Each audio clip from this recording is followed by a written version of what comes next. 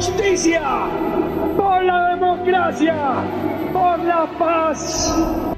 El nuevo liberalismo vuelve al ruedo político.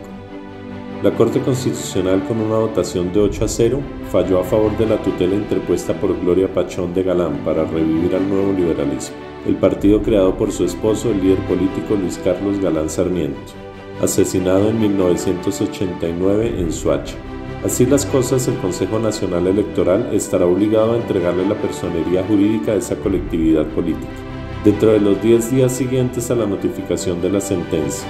Esta decisión cambiará el panorama para las elecciones de 2022.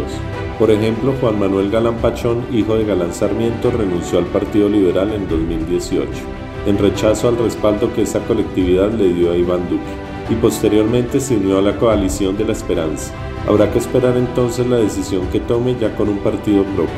Siempre adelante, ni un paso atrás. Lea el artículo completo en www.diariocriterio.com.